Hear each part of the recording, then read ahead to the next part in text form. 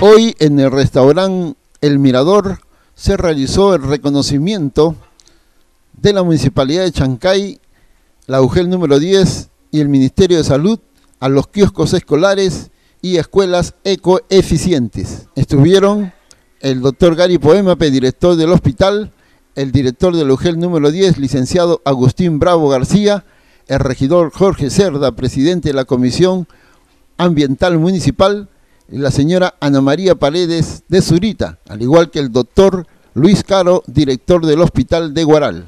Intervinieron en el uso de la palabra el doctor Luis Caro. director de la red de Guaral, para mí realmente esto es, es un honor poder estar en esta reunión donde una vez más somos testigos del trabajo que se viene haciendo de forma conjunta eh, y esta vez eh, tocó el momento Municipalidad de Chancay juntamente con Hospital de Chancay y el sector de educación y salud una vez más en coordinación con la municipalidad están logrando un resultado bastante importante, si bien es cierto se nos hemos abocado a, la tarea de lo que es eh, el medio ambiente.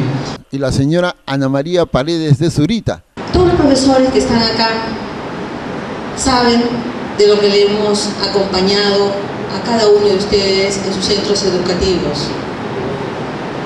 Cada uno de ustedes también sé que tienen muchas necesidades, pero nunca me voy a olvidar en mi vida que en estos cinco años la región no haya invertido ni un sol en los centros educativos, en aulas, cercos, servicios higiénicos, eh, mobiliario, equipamiento, desarrollo de capacidades de nuestros profesores. Nosotros como gobierno local hemos hecho un gran esfuerzo siempre de atender al niño. En una política transversal de atención al niño en todos los ámbitos, cultural, ambiental, artístico, educativo, entendemos que el desarrollo tiene un eje que este se sustenta en ese desarrollo de capacidades de las personas del lugar, ¿no? Este, cuando hablamos de desarrollo local. Además se premió a los kioscos escolares saludables. En nivel primaria, segundo lugar, institución educativa 2391 y en primer lugar, institución educativa 2390. En nivel secundaria, segundo lugar, institución educativa Augusto Salazar Bondi y primer lugar, institución educativa César Vallejo.